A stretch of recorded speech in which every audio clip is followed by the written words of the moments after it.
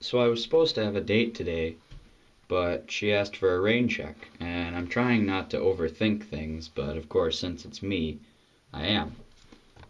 So.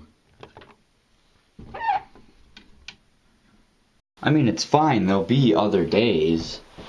It's that it's not that important to me. She said that she said that she had to babysit today, so I guess what I'm mostly concerned about is that she's not interested in me. I mean, that's usually my main worry, but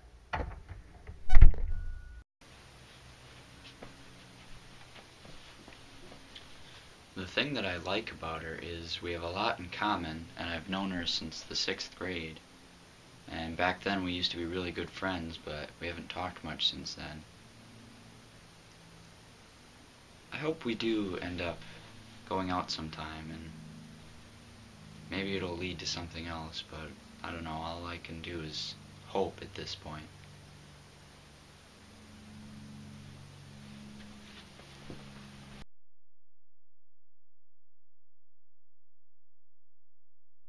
But in other, less depressing news, uh, winter formal is coming up pretty soon, which I'm pretty excited about, which because it means that Tristan, Alyssa, and some other people will be going to IHOP afterwards.